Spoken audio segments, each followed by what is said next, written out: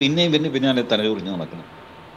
ഇത്തരം ഒരു നാട്ടിൽ ആരെങ്കിലും ജീവിക്കാൻ ആഗ്രഹിക്കുമോ ഒരു കാര്യവും ചെയ്യാത്ത ഒരു ഒരു ജനതയായിട്ട് അധപ്പതിച്ചിരിക്കുന്നു ഇറസ്പെക്റ്റീവ് ഓഫ് പൊളിറ്റിക്കൽ പാർട്ടി എല്ലാവരും ഇതാണ്. മറ്റേയാൾ പറയുന്നതിനേക്കാൾ കടുപ്പിച്ച് ഇയാൾ പറയും.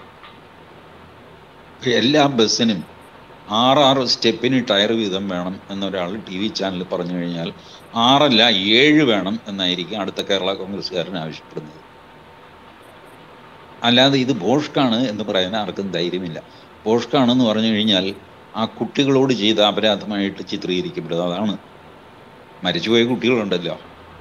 അവരോട് ചെയ്ത അപരാധമാണ് അവരുടെ മരണത്തെ കൊച്ചാക്കി അങ്ങനെയാക്കി എന്നൊക്കെ പറഞ്ഞിട്ട് തുടങ്ങും പരിപാടി. ഇത് ഭയന്നിട്ട് ആൾക്കാർ ഈ വലിയ വലിയ ഡിമാൻഡുകൾ വഹിക്കും ഇത് കേൾക്കാൻ സർക്കാർ. സർക്കാർ വിചാരിക്കും ഒരു നിയമം പാസ്സാക്കി അങ്ങ് ഇടണം തീരട്ടെ ഇവന്റെയൊക്കെ എന്ന് പറഞ്ഞിട്ട് എന്നിട്ട് ബസ്സുകൾ തോന്നി അസുഖം ഓടിക്കൊണ്ടിരിക്കും. വലിയ കഷ്ടമാണ്. സങ്കടം തോന്നുന്നു കേരളത്തിൽ ജനിച്ചു പോയത്. ഇൻഷുറൻസ് വാങ്ങിച്ചു തരാം. ബാക്ക് ഡേറ്റ് ഇട്ട് ഇൻഷുറൻസ് പോളിസി എടുത്തു തരാം എന്നൊക്കെ പറഞ്ഞിട്ട് നടക്കുന്ന വക്കീലന്മാരെ. അവർ മറ്റു വക്കീലന്മാർ ആക്സിഡന്റ് ചേസേഴ്സ് എന്നാണ് വിളിക്കുന്നത്. അവരുടെ പണി തന്നെ ഇതാണ്. എവിടെ ആക്സിഡന്റ് നടന്നാലും അവിടെ അവർ ഓടിയെത്തും. ഓടിയെത്തിയിട്ട് അതിനകത്തെ വിക്ടിമിനെ എങ്ങനെയെങ്കിലും പിടിച്ച് ആശുപത്രിയിലൊക്കെ അവർ തന്നെ മുൻകൈ എടുത്ത് ഒക്കെ ചെയ്ത് അതിന്റെ നടുനായകത്വം വഹിച്ചിട്ട് ഈ പരിപാടി അവതരിപ്പിക്കും. കിട്ടുന്നതിന്റെ പകുതി എനിക്ക്. നമുക്കൊന്ന് ഫൈറ്റ് ചെയ്ത് നോക്കാം. പത്ത് ലക്ഷം ചോദിക്കാം ഇൻഷുറൻസ് കമ്പനിയോട് അഞ്ച് ലക്ഷമെങ്കിലും തരും. അഞ്ച് ലക്ഷം കിട്ടിക്കഴിഞ്ഞാൽ രണ്ടര നിങ്ങൾക്ക് രണ്ടര എനിക്ക്. അപ്പോൾ ഇയാൾ വിചാരിക്കും ഒരു ഒപ്പിട്ട് കൊടുക്കേണ്ട കാര്യമില്ലേ ഉള്ളൂ. ഒപ്പിട്ട് അങ്ങ് കൊടുക്കും. ബാക്കി വക്കീലിങ്ങനെ നോക്കും. കുറേ കിട്ടും കുറേ കിട്ടില്ല. അങ്ങനെ ജീവിക്കുന്ന ശവം തിന്ന് ജീവിക്കുന്ന വക്കീലന്മാരും ഉണ്ട്. ഇതൊക്കെ വലിയ കലാപരിപാടിയല്ലേ കേരളത്തിൽ നടക്കുന്നത്? അതിൽ നിന്ന് വരുന്നതാണ് ഇതൊക്കെ. പിന്നെ രംഗം ശാന്തമായി കഴിയുമ്പോൾ ഇതേ റൂൾ നമ്മൾ ഹൈക്കോടതിയിൽ പോയി ചലഞ്ച് ചെയ്ത് കഴിഞ്ഞാൽ അവരത് ക്യാൻസൽ ചെയ്ത് തരികയും ചെയ്യും. പക്ഷെ ആരിതിന് പോവും ആരിതിന് കാശ് മുടക്കും? അതാണ് പ്രശ്നം. കോടതിയുടെ എത്രയോ ഉത്തരവുകൾ കിടക്കുന്നറിയാമോ കോടതി ഉത്തരവ് നടപ്പിലാക്കുന്നതിൽ ഏറ്റവും പുറകിൽ ബീഹാറാണ്. ഉത്തർപ്രദേശിൽ എത്രയോ ഉത്തരവുകൾ നടപ്പാക്കാറുണ്ട് കേരളത്തിൽ കോടതി പാസ്സാക്കിയ എത്രയോ ഉത്തരവുകൾ നടപ്പിലാക്കിയിട്ടൊന്നുമില്ല. ചില ഉത്തരവൊന്നും സർക്കാർ നടപ്പിലാക്കില്ല സർക്കാർ ഇത് നടപ്പിലാക്കിയില്ല എന്ന് പറഞ്ഞാൽ നമുക്ക് എന്താ മാർഗം? കോർട്ട് ലക്ഷ്യത്തിന് പോവുക. കോർട്ട് ലക്ഷ്യത്തിന് പോകണമെങ്കിൽ അഡ്വക്കേറ്റ് ജനറലിന്റെ സാങ്ഷൻ വേണം. സർക്കാരിനെതിരെ കേസ് കൊടുക്കാനായിട്ട് അഡ്വക്കേറ്റ് ജനറൽ സാങ്ഷൻ തരുക തരില്ല. അവിടെ കിടക്കുന്ന നമ്മുടെ പരാതി. അതാണ് നമ്മുടെ സിസ്റ്റം. റൂൾ ഉണ്ടാക്കി വയ്ക്കും. ഞാൻ പറഞ്ഞ പോലെ ഓരോ ബസ്സിനും ആറ് സ്റ്റെപ്പിന് ടയർ വെച്ചുണ്ടാകണം എന്ന റൂൾ ഉണ്ടാകും അതവിടെ കിടക്കും. ആരും ഇംപ്ലിമെന്റ് ചെയ്യുന്നില്ല. രണ്ട് മൂന്ന് വർഷം കഴിഞ്ഞിട്ട് നിങ്ങളൊരു ടൂറിസ്റ്റ് ബസ് എടുത്തിട്ട് പഴനിയിലോ തിരുപ്പതിയിലോ പോയി തിരിച്ചു വരുന്ന വഴിക്ക് ഭക്ഷണം കഴിക്കാൻ നിൽക്കുന്ന സ്ഥലത്ത് നിങ്ങൾ പോലീസുകാരുമായിട്ട് ഒരു ചെറിയ വാഗ്വാദത്തിൽ ഏർപ്പെടും. എന്തെങ്കിലും കാരണം കൊണ്ട് ഈശാവശ അതിന്റെ മൃദനത്തിലെത്തി കഴിയുമ്പോൾ പോലീസുകാരൻ ഈ നിയമം എടുക്കും. നിന്റെ ബസ് ഞാൻ സീസ് ചെയ്തു.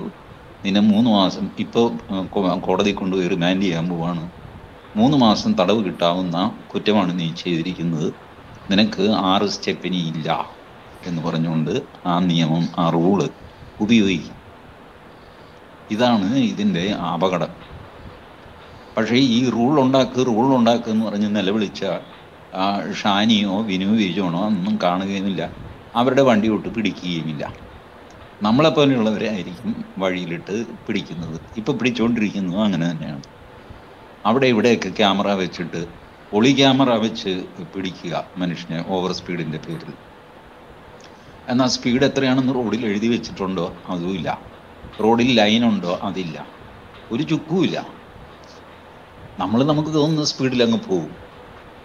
അതിന്റെ പിന്നാലെ ഇവരുടെ നോട്ടീസ് വരും. ആയിരം രൂപയാണെങ്കിൽ രണ്ടായിരം രൂപയാണെങ്കിൽ കഴക്കൂട്ടത്ത് ഓവർ സ്പീഡായിരുന്നു എന്നൊക്കെ പറഞ്ഞിട്ട്. ഇതൊക്കെ ചതിയല്ലേ?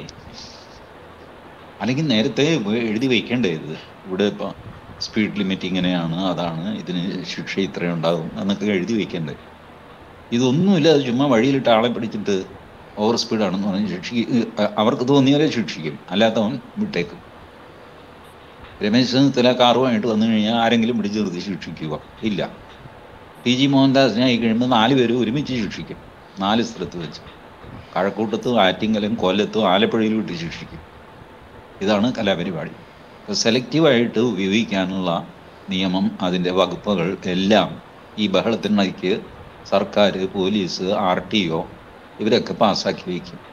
ഇതിൽ നിന്ന് രക്ഷപ്പെടാനുള്ള നിയമങ്ങൾ ഇൻഷുറൻസുകാരും ഉണ്ടാക്കി വയ്ക്കും. ഇങ്ങനെ ആക്സിഡന്റ് ഉണ്ടാകുകയാണെങ്കിൽ ഞങ്ങൾ ഉത്തരവാദിയല്ല. ആറ് സ്റ്റെപ്പിന് ടയറില്ലാത്ത ബസ്സിൽ നിങ്ങൾ കയറി എന്നിട്ട് ആക്സിഡന്റ് ആയി അതുകൊണ്ട് നിങ്ങൾക്ക് കാശ് തരില്ല എന്നൊക്കെ പറഞ്ഞ് ഇൻഷുറൻസ് കമ്പനി ഇതിന് ഒഴിവുണ്ടാക്കി വയ്ക്കും നമ്മൾ വഴിയാധാരമാകും. ഇതാണ് ഇപ്പം നടക്കുന്നത്.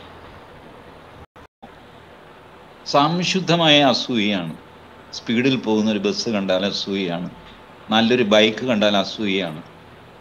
ഞാനിത് ഈ അസൂയക്കാർ കളവന്മാർ എന്നോട് നിങ്ങൾ ഈ പിള്ളേരെയൊക്കെ ചീത്തയാക്കുന്ന ആളാ. എന്താ കാര്യം? നിങ്ങൾ ഈ ഒറ്റച്ചെവിയിൽ കമ്മലിടാൻ നിങ്ങൾ കൈയടിക്കില്ലേ ഞാൻ പറഞ്ഞാ അവൻ ഒറ്റച്ചെവിയിൽ കമ്മലിടട്ടെ അവന് മുടി നീട്ടി വളർത്തി പുറകിൽ റബ്ബർ ബാൻഡ് ഇട്ട് കെട്ടട്ടെ? അല്പ സ്വല്പം ആരും കാണാതെ അവൻ സൈലൻസർ ഇല്ലാതെ ബൈക്ക് ഓടിക്കട്ടെ എന്ന്. ആ നിങ്ങളാണ് ഈ പിള്ളേരെ ചീത്തയാക്കുന്നത്. ഞാൻ പറഞ്ഞോടു കിളവ. തനിക്ക് അസൂയാണ് ചെറുപ്പക്കാരോട്. തനിക്കിത് സാധിച്ചിരുന്നില്ല. തന്റെ കാലത്ത് റോഡും ഇല്ല ഈ മോട്ടോർ സൈക്കിളും ഇല്ല. തനിക്കിതൊന്നും ചെയ്യാൻ പറ്റിയില്ല. അവനത് ചെയ്യുന്നു. എനിക്കതിൽ സന്തോഷമേ ഉള്ളൂ. ഞാനവനെ പ്രോത്സാഹിപ്പിക്കുന്നു. സ്വയം സേവകരെ ചീത്തയാക്കുന്നു. ഞാൻ പിന്നെ സ്വയം സേവകനല്ലേ ഈ ഒരു ചെവിയിൽ കമ്മലിട്ട് കഴിഞ്ഞാൽ സ്വയം സേവകത്വം പോവുക അതെന്ത് പരിപാടിയാണ് അങ്ങനെയാണ് അത്ര തുമ്മി അത്തറിക്കുന്ന മൂക്കാണെങ്കിൽ അതങ്ങ് പോട്ടെ. എനിക്ക് മനസ്സിലാവുന്നുണ്ട് ഇവരുടെയൊക്കെ മനസ്സിൽ അസൂയാണ് പിള്ളേരോട് ചെറുപ്പക്കാരോട് കുട്ടികളോട്. അതുകൊണ്ട് കുട്ടികളെ ലോഡ് ചെയ്ത് ലോഡ് ചെയ്ത് നശിപ്പിക്കുക. അവരുടെ ജീവിതം തന്നെ കോഞ്ഞാട്ടയാക്കണം എന്നിട്ട് അവസാനം നിരാശരായി കഴിയുമ്പോൾ അവർ പോയി വെള്ളം അടിക്കുകയോ ഡ്രഗ്സ് മേടിച്ച് തിന്നുകയോ എന്തെങ്കിലും ചെയ്യും. ടെൻഷൻ സഹിക്കാൻ മേലാതെ. ഉടനെ അതിന്റെ പേരിൽ അവരെ വഴക്ക് പറയുക. ഓ ഇങ്ങനൊരു ജനതയെ ഞാൻ കണ്ടിട്ടില്ലപ്പ ഞാനതുകൊണ്ടാണ് ഇതൊക്കെ തുറന്നു പറയുന്നത്. ആർക്കെന്ത് തോന്നിയാലും എനിക്കെന്താ. അതിനകത്ത് പാട്ട് പാടില്ല വീഡിയോ പാടില്ല ലൈറ്റ് പാടില്ല എന്നൊക്കെ പറയുന്നത് എന്ത് മര്യാദയാണ്? മനുഷ്യന്റെ ജീവിതത്തിൽ നിന്ന് നിറങ്ങൾ എടുത്ത് മാറ്റുക എന്ന് പറയുന്ന മഹാഭാവമല്ലേ ചെയ്യുന്നത് ഒരു ആക്സിഡന്റെ പേരിൽ തുണിയില്ലാത്ത ബസ്സിൽ പോയാൽ മതി ഇനി. അല്ലെങ്കിൽ പോകണ്ട. സ്റ്റഡി ടൂർ അല്ലല്ലോ പ്ലഷർ ട്രിപ്പ് അല്ലേ നടക്കുന്നത്. അതുകൊണ്ട് അത് വേണ്ട. അല്ലെങ്കിൽ തന്നെ ഇവിടെ മത്സര പരീക്ഷയും മണ്ണാങ്കട്ടയും കൊണ്ട് പിള്ളേർക്ക് നിക്കപ്രതിയും കടക്കപ്രതിയില്ല വെറുതെ അല്ലേ ഈ ഡ്രഗ്സിന്റെ ഒക്കെ പിന്നാലെയൊക്കെ പോകുന്നു ഈ ടെൻഷൻ ആർക്ക് താങ്ങാൻ പറ്റും? അച്ഛനമ്മമാർ തൊണ്ണൂറ്റൊമ്പത് ശതമാനം മാർക്ക് മേടിച്ചില്ലെങ്കിൽ അച്ഛൻ വെട്ടിക്കൊല്ലും. നൂറ് ശതമാനം മേടിക്കണമെന്ന് പറഞ്ഞാൽ അമ്മ നിൽക്കുന്നു. പഠിപ്പിക്കുന്ന സാറാണെങ്കിൽ ഇവൻ കാശിന് കൊള്ളില്ലാത്തവനാണെന്ന് റിപ്പോർട്ട് കൊടുക്കുന്നു. അവന് ഒരു രീതിയിലും നിന്ന് തിരിയാൻ മാർഗമില്ലാതെ അവൻ കൈ കിട്ടിയ എന്തെങ്കിലും കഴിച്ചിട്ട് ആ നേരമെങ്കിലും കുറച്ച് സന്തോഷം കിട്ടുമല്ലോ എന്ന് വിചാരിക്കുന്നു. എന്തൊരു ടെൻഷനാണ് നമ്മുടെ സ്കൂളിലേക്ക് പിള്ളേർക്ക്. എന്തൊരു ഭാരമാണ് അവർ ചുമക്കുന്നത് അവരുടെ സ്കൂൾ ബാഗ് നിങ്ങളൊന്ന് എടുത്ത് നോക്കണം. പത്ത് കിലോ പതിനൊന്ന് കിലോയൊക്കെയാണ് ഇത് ഇതിന്റെ മൂർധന്യത്തിലെത്തിക്കഴിഞ്ഞപ്പോൾ മഹാരാഷ്ട്രയിൽ അന്ന് ശിവസേനക്കാരൻ മനോഹർ ജോഷി അങ്ങേര് ഒരു ഉത്തരവിറക്കി. മഹാരാഷ്ട്രയിലെ എല്ലാ സ്കൂളിലും എൽ കെ ജിയിൽ ഒരു ലഗേജും പാടില്ല. കുടിവെള്ളം പോലും പിള്ളേർ കൊണ്ടുപോകാൻ പാടില്ല. യു കെ ജിയിൽ പ്ലാസ്റ്റിക്കിന്റെ കുപ്പിയിൽ കുടിവെള്ളം മാത്രം കൊണ്ടുപോകാം. അപ്പോൾ ഭക്ഷണം ഭക്ഷണം സ്കൂളിൽ കൊടുക്കുക എന്താണെന്ന് വെച്ചാൽ ചെയ്തോളണം. ആ കൊച്ചിനെ കൊണ്ട് ചുമപ്പിക്കാൻ പാടില്ല. ഒന്നാം ക്ലാസ്സിൽ അര കിലോ ആണ്. അത് പുസ്തകവും വാട്ടർ ബോട്ടിലും തേങ്ങ മാങ്ങ എന്തൊക്കെ ഉണ്ടോ അതെല്ലാം കൂടെ ചേർത്തിട്ട് അര കിലോ ഭാരം. അര കിലോയിൽ കൂടി കഴിഞ്ഞാൽ ഹെഡ് മാസ്റ്റർ ശിക്ഷിക്കും. ഇതായിരുന്നു കണ്ടീഷൻ അങ്ങനെ പുള്ളി ആ വെയിറ്റ് കൂട്ടി കൂട്ടി കൊണ്ടുവന്നിട്ട് പ്ലസ് ടുവിൽ പുള്ളി വെയിറ്റ് കൊടുത്തത് മൂന്ന് കിലോയോ മറ്റോ ആണ്. അതിൽ കവിഞ്ഞ് പറ്റില്ല പിള്ളേരെ കൊണ്ട് ചോമിപ്പിക്കരുത് എന്ന് പറഞ്ഞു. പിന്നെ ഇപ്പോൾ എന്തായി സ്ഥിതി എന്ന് അറിഞ്ഞുകൂടാ മനോഹർ ജോഷി മുഖ്യമന്ത്രിയായിരുന്ന കാലത്തായിരുന്നു കേരളത്തിൽ എന്താ സ്ഥിതി എന്ന് പറയുമ്പോൾ എത്ര വലിയ ചുമടാണ് ഇവരുടെ പുറത്ത്. പഴയ പോലെ നമ്മൾ പിടിച്ചുകൊണ്ട് പോയപ്പോൾ ഞാനൊക്കെ വെറുതെ കയ്യിൽ പിടിച്ചാണ് ബുക്ക് കൊണ്ടുപോയിക്കൊണ്ടിരുന്നത് അത്രേ ഉള്ളൂ. അതിൽ കവിഞ്ഞ എന്താ ഇത്ര വലിയ പള്ളിക്കൂടത്തിൽ കൊണ്ടുപോകാനായിട്ട് ബുക്ക്? ഇത് പത്ത് കിലോ പന്ത്രണ്ട് കിലോ പുസ്തകം അതിന്റെ വലിയൊരു സഞ്ചി പുറത്തിട്ടിട്ട് കൂനി കൂനിയാണ് ഈ പിള്ളേർ നടക്കുന്നത്. ഇതിനിടയ്ക്ക് അവർക്ക് കിട്ടുന്ന ഒരു പ്ലഷർ ട്രിപ്പ് അതും കൂടെ ഇല്ലാതാക്കാനാണ് ഈ അസൂയക്കാരായ മനുഷ്യരുടെ തുടക്കം. ഇവനൊക്കെ ശുദ്ധ അസൂയയാണ്. ഇവൻ ചെറുപ്പമായിരുന്ന കാലത്ത് ഇങ്ങനത്തെ റോഡും ഉണ്ടായിരുന്നില്ല ഇങ്ങനത്തെ ബസ്സും ഉണ്ടായിരുന്നില്ല ഈ പ്ലഷർ ട്രിപ്പും ഉണ്ടായിരുന്നില്ല. ഞാനൊക്കെ ആ തലമുറയിൽപ്പെട്ടവനാണ്. അതുകൊണ്ട് ഇവന്മാരുടെ അസൂയ എനിക്ക് നന്നായിട്ട് മനസ്സിലാവും. ഞങ്ങൾക്ക് കിട്ടാത്തത് ഞങ്ങളുടെ പിള്ളേർ അങ്ങനെ അനുഭവിക്കണ്ട അവനിട്ടൊരു പാരയിരിക്കട്ടെ അവൻ നിരന്തരം ടെൻഷനിലായിരിക്കണം. സ്വന്തം പിള്ളേരോട് അസൂയുള്ള വർഗം. ഇങ്ങനത്തെ ഒരു ഒരു സാധനത്തെ ഞാൻ എങ്ങും കണ്ടിട്ടില്ല കേട്ടോ. ഇപ്പൊ തമിഴ്നാട്ടിലെ അഴിമതിയെ പറ്റിയൊക്കെ പറഞ്ഞില്ലേ? അതിനൊരു ഒരു ഒരു വ്യവസ്ഥയും വെള്ളിയാഴ്ചയും ഉണ്ടെന്നേ. ആ കാശ് കൊടുത്തു ആ നിയമം അയാൾ മാറ്റിയില്ലേ? ഇവിടെ കാശ് കൊടുത്ത് നിങ്ങൾ നോക്ക് കാശ് മേടിച്ചിട്ട് അവൻ നിയമം വീണ്ടും അത് നീട്ടിക്കൊണ്ടിരിക്കും പിന്നെയും.